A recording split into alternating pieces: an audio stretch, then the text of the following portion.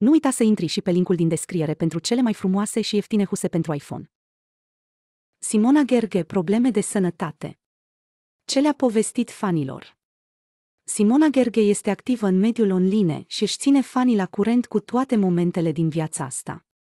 De curând, vedeta le-a mărturisit fanilor că nu se simte tocmai bine, confruntându-se cu dureri de gât și cu răgușeală. Simona Gerge, probleme de sănătate.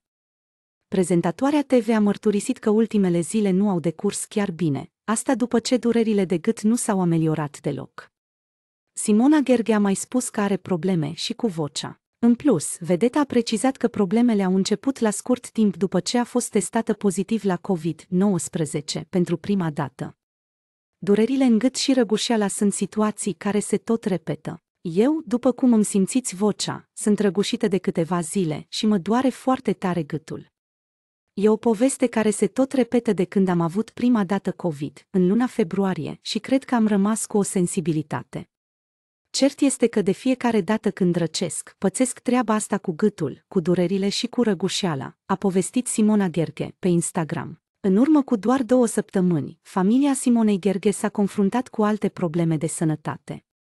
Mai exact, fiul vedetei nu s-a simțit deloc bine, iar prezentatoarea TV a fost îngrijorară pentru starea micuțului, în contextul în care numărul tot mai mulți copii se confruntă cu viroze. Ofă, tare greu e când îl văd așa, cu tusea asta groaznică.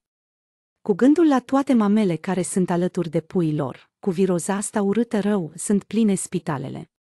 Să fiți sănătoși, a spus la acel moment Simona Gherghe, pe Instagram.